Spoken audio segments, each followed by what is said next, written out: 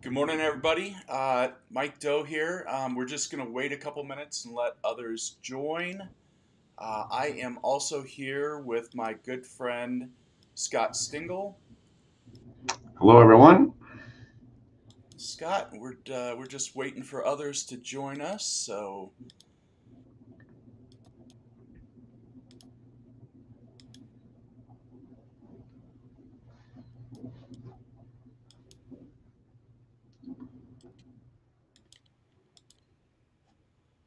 All right, and I see uh, it looks like Melco is on. That's great. Um, if you are online with us, if you could say good morning, let us know where you're from. That would be great. We're gonna just kind of chill for a couple minutes here, let everybody uh, get connected, and we've got some really, really exciting stuff to cover uh, on basically making you more like Scott Stingle out of the box. So all the cool tricks that Scott has as a how many years have you been digitizing, Scott? Mm, uh, 34. 34 years, and he's only 36 years old. So that's the crazy thing. So, um, yeah, a lot of those, uh, a lot of those, uh, you know, secret hacks that make uh, embroidery designs look so good.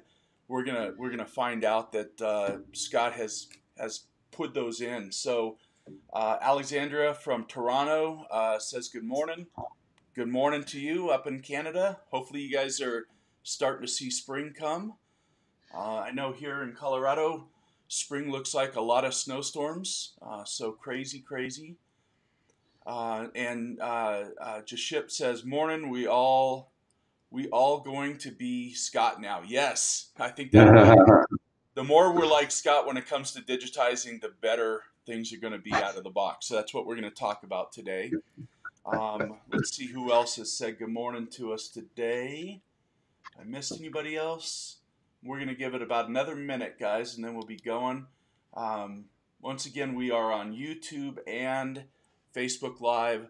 Um, uh, Beth um, says good morning from Oklahoma, uh, Berry Berry Hill, Oklahoma. Um, I think that Beth is that close to Oklahoma City or is that closer to Tulsa? That's about like the two landmarks that I think of when it comes to Oklahoma. Um, so let's see what she has to say back. Um, and we're looking pretty good, Scott. So once again, if you're joining us late, um, my name is Mike Doe here at Melco. Actually, I'm here in my house getting ready to go back to Melco, but um, part of the applications team at Melco here with my good friend Scott Stingle, and Scott is going to walk us through some really cool. Um, they might seem like they're small things, but really cool uh, features and functions of Design Shop V11. Um, and so Rudy is saying that my my volume seems really low. So let me see if I can fix that, Rudy. Hold on one second here. Um, Beth said it's closer to Tulsa. Okay, I've got I've got family in Tulsa.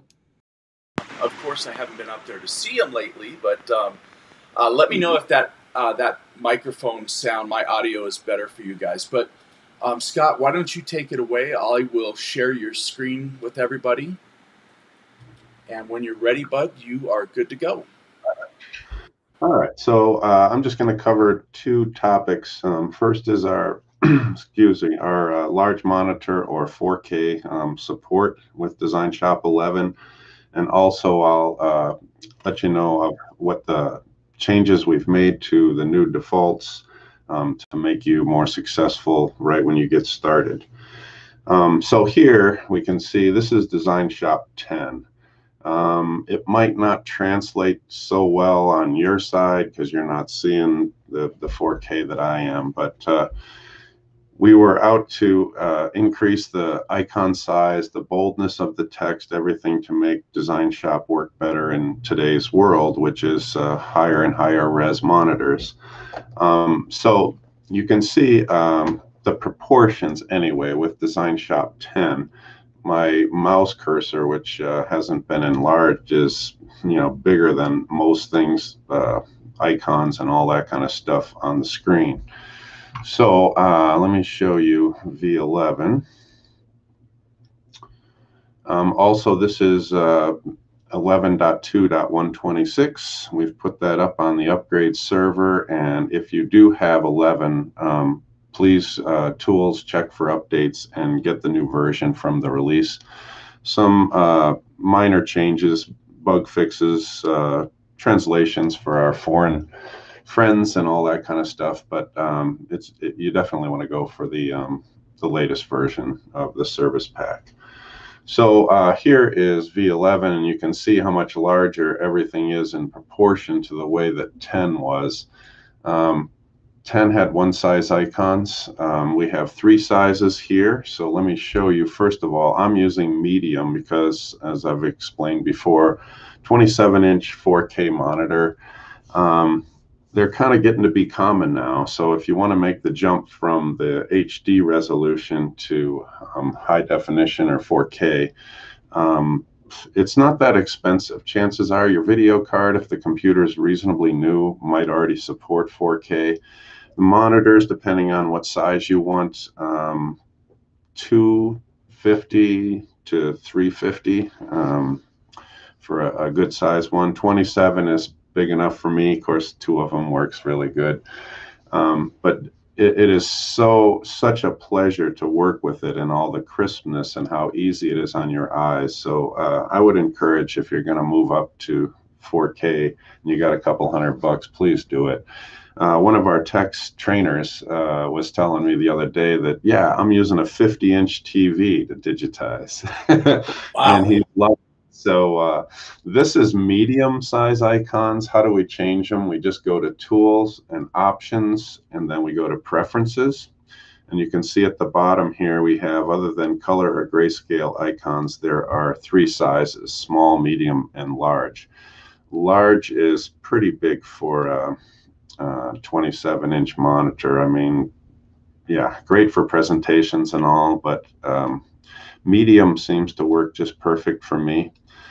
Um, the other thing that Design Shop 11 has done is um, we are what's called DPI aware. So in the past, Design Shop was sort of at the um, it was it was at the the mercy of Windows to interpolate and to boost things up based on your scaling, Windows scaling.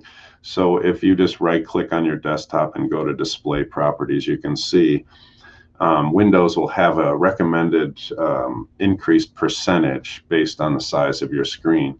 Laptops with 1080 or um, monitors are like 125%. This is 150. So Windows is going to boost it up a little bit, but it's not going to add pixels and all that to the icons, which is what makes V10 very blurry as you use it on larger monitors. Um, so also what DPI Aware does is it gets rid of the anti-aliasing. That's sort of, imagine your wireframe lines. Um, they're sort of like faxes, if people remember faxes, um, where it gets kind of stair-stepped. As um, as if you increase the thickness of a line, there's not a lot they could do sometimes, so it gets pretty sketchy. Not the case here. You can zoom right in, and the wireframe lines are completely crisp because there's no uh, Windows doesn't have any um, effect on it. So um, also what you notice is all of our text, like I was saying, is much uh, crisper and larger. Um, in V10, you would take up just a little portion of the text and it can be kind of hard to read inside the, the window. So much clearer, much crisper, bolder, just easier on the eyes to look at. Um, also, you can see, of course, over here that the um, palette is uh, much, much larger. And of course, I can go in and save defaults and load palettes, save custom color charts, all that great stuff, just like you always could. Um, also, uh, over in the, uh, we call it the tree view, it's the object list, I guess, officially. Um, that can be kind of small. So let me just run, uh, run something here um, you can see how small the objects can be um, under the old mode. So now you right click inside of here. Actually, Scott, I can't see it. It's so small. oh, okay. Well, let's improve that. um, so we have a right click and then tree image size so we can go up to large and you can see just now you can see a mic much better, much better. Thank you, Scott. My my old eyes couldn't see that at all. So yeah, definitely. So this is much easier on the eyes. The other thing you can do if you want to is change the background color to uh, anything you like. I tend to like light gray. It's nice and easy on my eyes. Um, and so the other thing that you might want to do if you move up to um, uh, 4K is increase the point size. So when I uh, highlight um, elements, um, you can see the size of the nodes. If you would like that larger, again, tools, options, preferences, and then you can move up in the point size to make them uh, bigger and easier on your eyes. So that's a little bit larger. I find that uh, three quarters of the way up the scale is about good for what I do in 4K. Uh, any questions, Mike? Um, so actually, I've got a question. We haven't got anybody posting questions, so I'm gonna I'm gonna help along here. So Scott, you're talking a lot about 4K monitors and high definition. Um, does that require any uh, extra demand on my PC or any components of my my computer? Um, well, yeah, I mean, it's always going to be good to have a really good processor, enough RAM.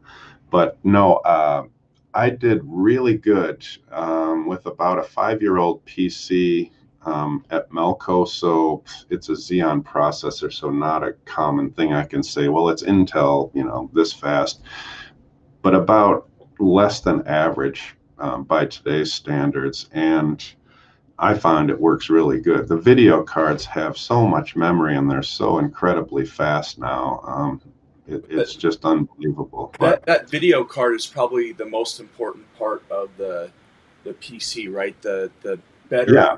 Better graphics cards you can get typically means the the better uh, response and results you're going to get out of that computer with Design Shop. Especially well yeah especially for gaming and all that kind of stuff but no really um, i've set several people up with um, video card recommendations. So for something like oh 75 bucks gets you a decent 4k supported video card that you just plug into your current pc and um, and that works no you couldn't play uh, Call of Duty, uh, whatever, Black Ops or whatever is out now um, in, in full, full resolution.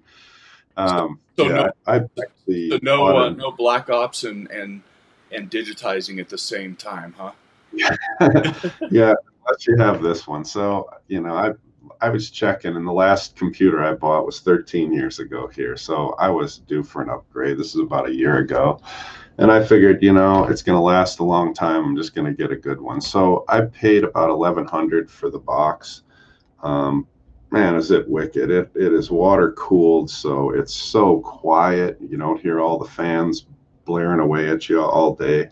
Um, and the video card is a, you know, 12 inches long. It, it's, it's a beast. And uh, it does play Call of Duty nicely. well, cool, cool. So, um, we don't have any other questions on the high def and the 4K.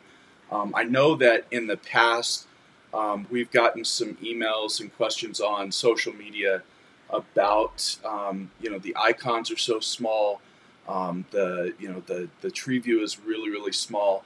So if you're having those issues, um, rewatch this video. The beginning of it, Scott once again goes through how to do uh, how to change the size of those components in uh, Design Shop V11. Um, and so, yeah, go ahead and check that out. But yeah, Scott, I think we moved on to the to the next topic if you're good with that.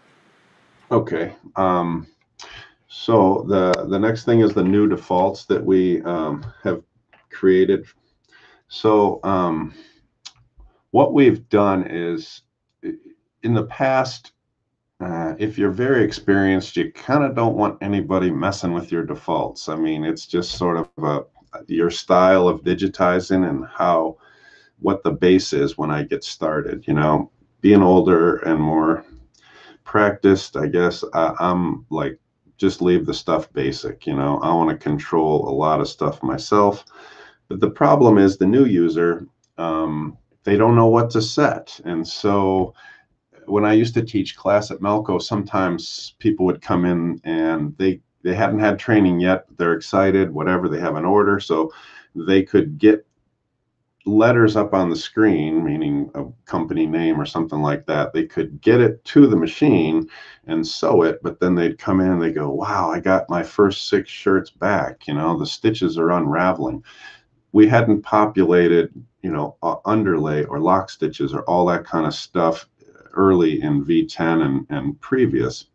So we, we took a new approach with 11. We're going to go through all defaults, of which there's over 500, if you can believe that, in Design Shop. Um, and we're going to set them up. It's impossible to set one default or each default to work on every different type of application.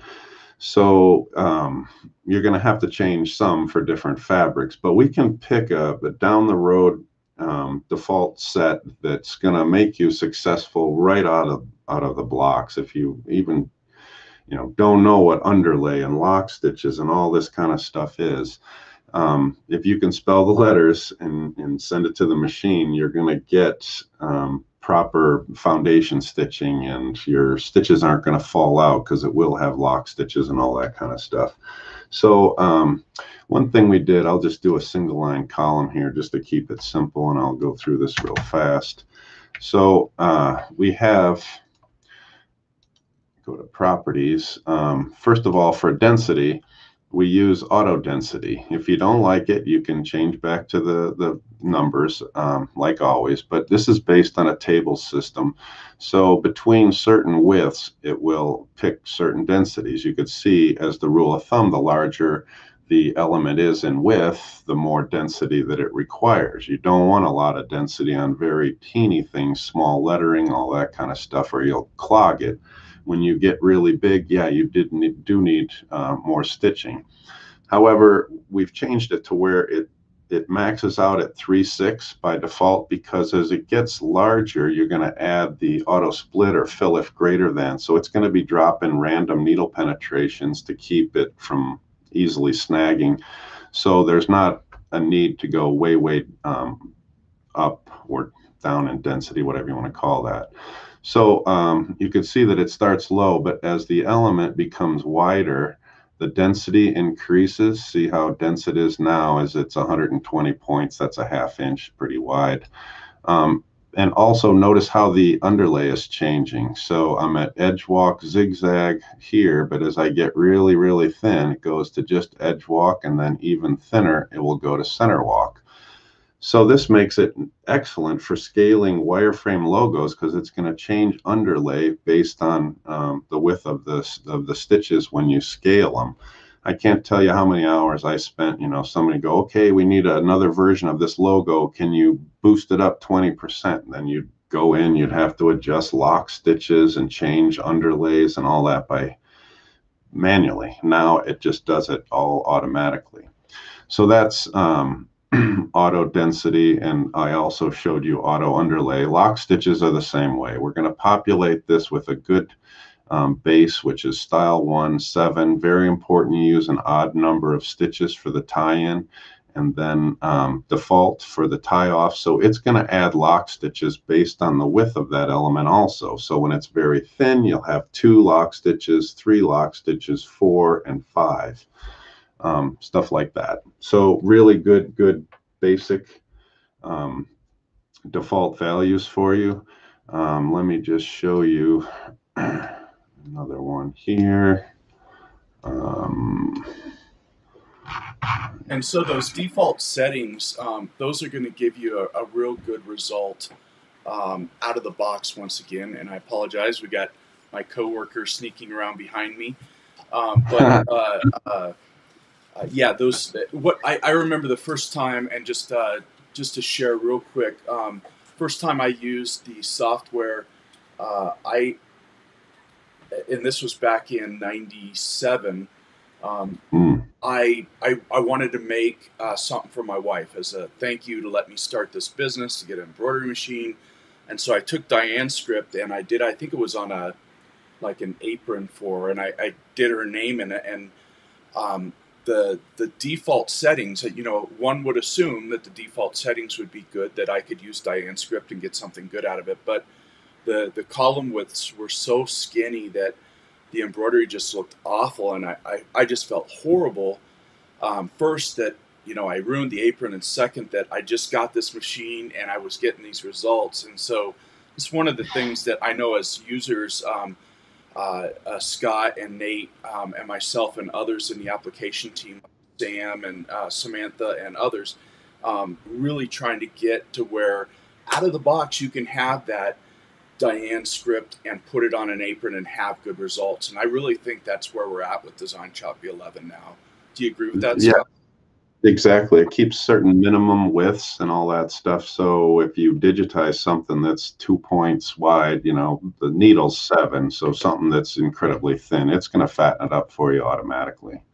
Cool. Definitely. As well as a lot of different options. I mean, we haven't gone down, here's just one road. I mean, you, you can adjust your own, which I'll show you in a second, but also um, we have uh, auto, uh, new auto underlay presets so uh, we'll take this skull design, just an example here. We'll go to multi-line elements, so we get all that. You can see all the locks are on, um, but under underlay. So we have auto underlay enabled now. That's like I was explaining, based on a four table system. So the wider stuff gets, you get different underlays more and more and more. Um, but we also have uh, three new ones, which is uh, light, medium, and heavy. So you can take a, a logo that's digitized for uh, lightweight fabric. Now, maybe you're going to sew it on polar fleece. Um, all you have to do is change the um, the uh, auto underlay, and it will adjust all the underlay thicknesses, densities, everything completely. Wow, that's great.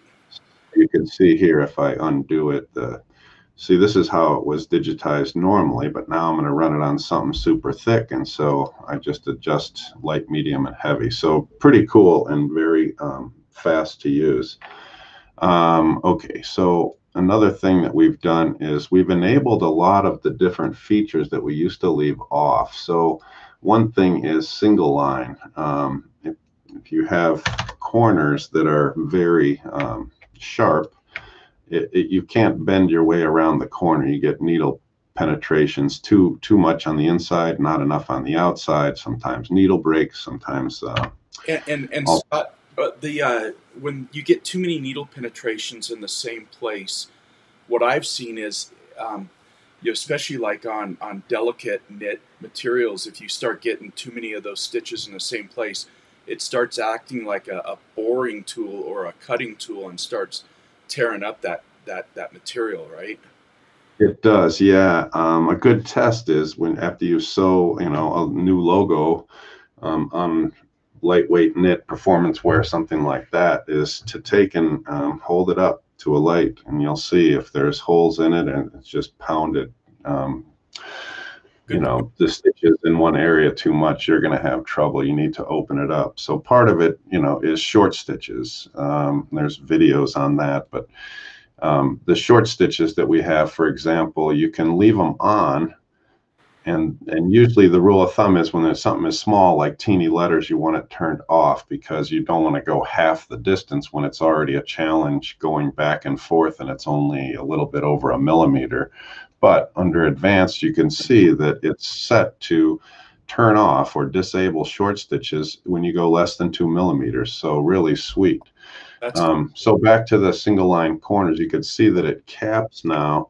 Um, to show you 3D at a certain um, angle. And then if I open it up a little more where it's more than 90, it will change to a style one, which is a miter. So we got all that stuff covered for you, which is super, super cool. Um, I'll delete this and show you one more thing. Then applique, for example, um, which is a tool right here. Um, if I had, oh, let's just say simple diamond. Um, I'll make it bigger because that's kind of small pretty small for an applique, huh? the corners will kick in automatically as we get very tight. You could see that the cover stitching changed also. So there's different values, uh, defaults for applique as well as for the general defaults.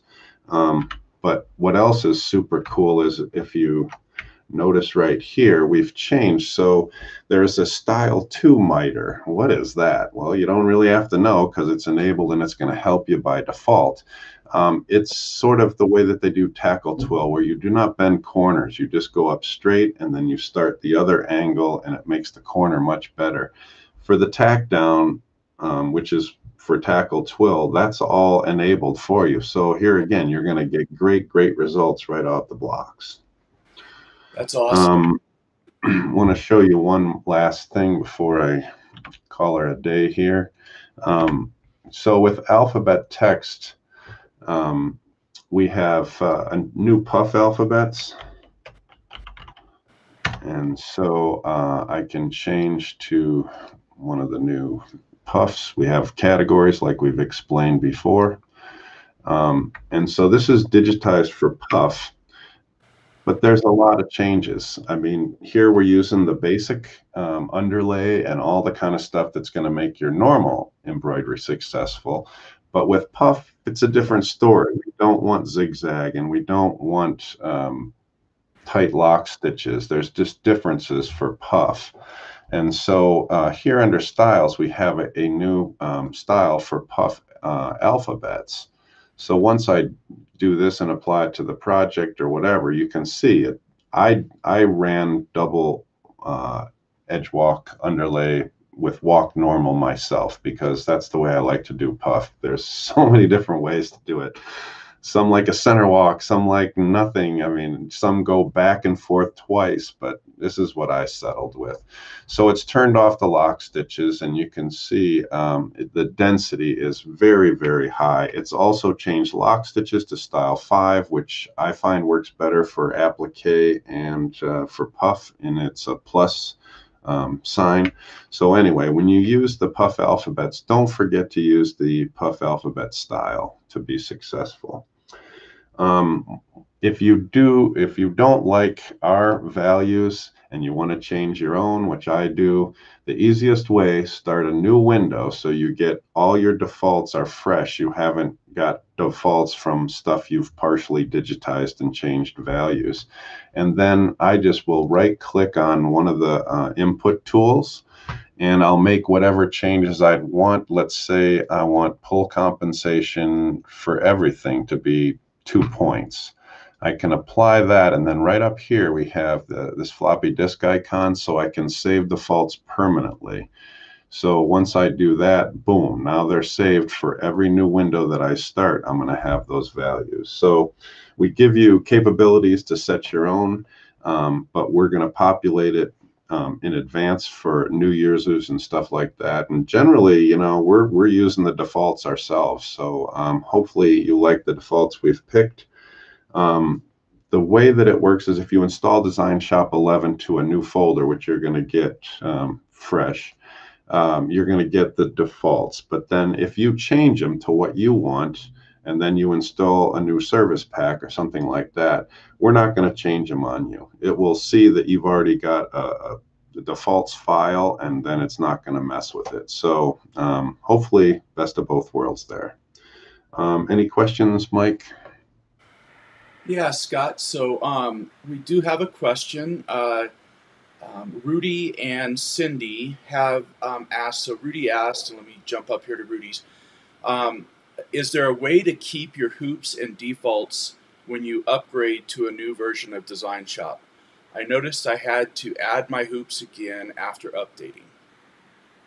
So we'll yeah, so Yep. If, if the installation um, with uh, Melco OS or uh, any of the other OSs that we have or Design Shop has a new hoop database, Nate has furiously added just a, whole bunch of new hoops, Mighty Hoop, all sorts of other ones allied um, to the hoop database, then you're going to have to reselect the hoops that you want in your list when you do a new installation.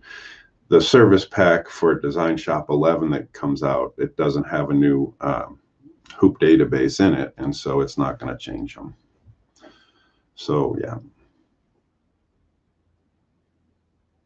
Um, missing your voice. There we go. It's that crazy okay. mute. It's that crazy mute button. um, yeah. Uh, so uh, Cindy asked, um, in addition to Rudy's question, so on the hoops, I assume is what she meant by that. Um, how about additional alphabets? Uh, will they transfer into Design Shop V11 automatically? Um, so I'd have to know what kind of alphabets you're talking about. Um, the version 10, uh, when that was out, we came out with a package of 10 alphabets that you could purchase for it. They're all included stock now. Um, so are they speaking about ALP files or if it's uh, true types or open type fonts? I mean, that's a yeah. You know, she she doesn't say. So, Cindy, what I would say on top of what um, Scott just mentioned is, um, you know, if it's a if it's a does embroidery font that you created on your own that was outside of that additional pack that we did, um, or isn't a true type font. Um, when when Design Shop V11 is installed, it installs in a separate location and has a separate alphabet folder. So if need be, if you find that you can't find that font from Design Shop V10, you can go into the Design Shop V10 alphabets folder, copy that, and paste it into the uh, um, Design Shop V11 alphabets folder, and, and that's how you could get that to be um, uh, to, to to make that happen. Does that make sense, Scott? Exactly. So that's for um, OFA alphabets, which are wireframe uh, Melco alphabets. A common uh, problem that we, we run into is people will take a true type font that they download from the web wherever, and they will put it into the alphabets folder, and then it doesn't show up. True types and OTFs, open type fonts, you have to install those into Windows. So you just highlight the file, right click, install as a choice usually, and it goes into Windows. You do have to restart Design Shop whenever you change or add alphabets or whatever, because they get registered when the, when the program starts. Gotcha. So if you just copy it in, where is it? No, you have to restart the software and then it shows up from there. Cool, cool. So um, another question. This one's coming from Jason. Um, when you were showing the uh, um, changing the default settings, uh, his mm-hmm. question is: Is there a way to get those back to factory reset? Um, does that make sense? Oh yeah. I I, I believe the answer to that, um, Jason. There there's no like uh, factory reset button, um, but uh, and this would be something I wouldn't suggest doing all the time. But if you wanted to get it back to factory reset, um, you could go in to the registry um, for Design Shop V11, and you could get rid of that. But I, I think that's probably a very risky thing to do. Um, so we will put that down, Jason, as a as a suggestion, is to have a factory reset um, button in the future. That's a good idea.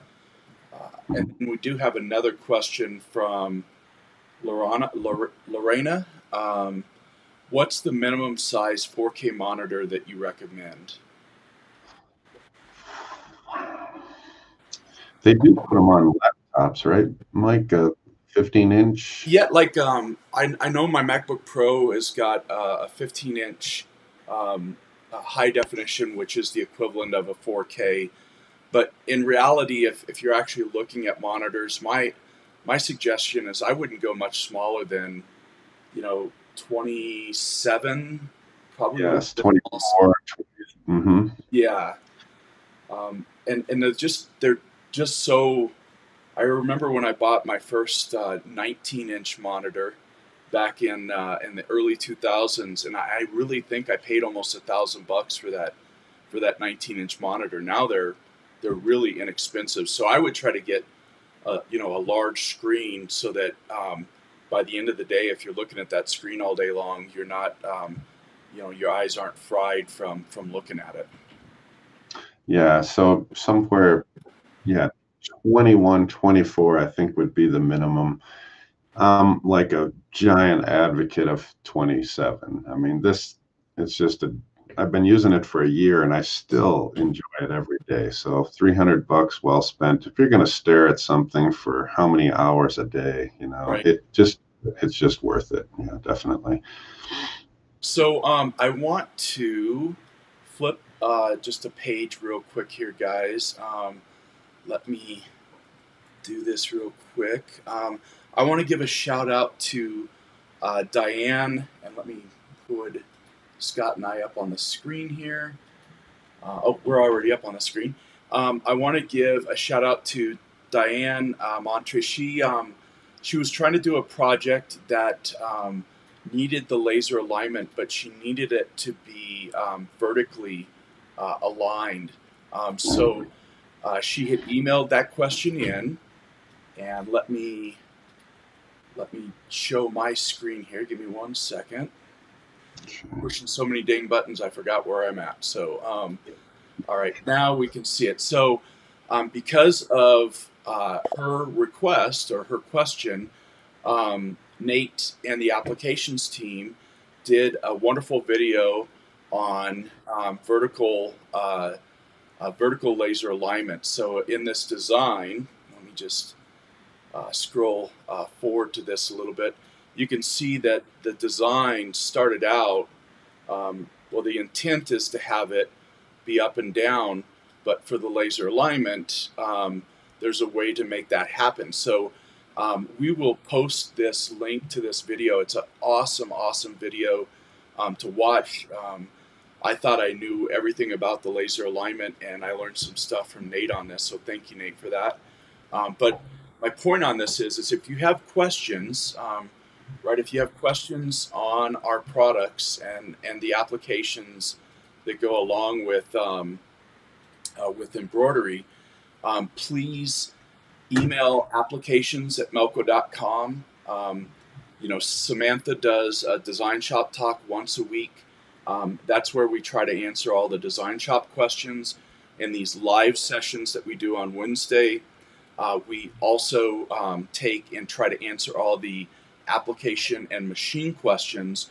And so um, it is our true intent to make sure that, you know, uh, we hear you. Um, and it and if, if, if, appropriate, we we try to give you solutions um, or respond to um, you know to your your uh, your requests. So um, I just want to give a big shout out to uh, um, uh, Nate and Scott. Do such a wonderful job keeping the information flowing into our minds as users on how we can use this product better and in more um, more efficient ways, more creative ways. And then also a big shout out to Dan Sweeney on keeping, and I want to share my screen one more time.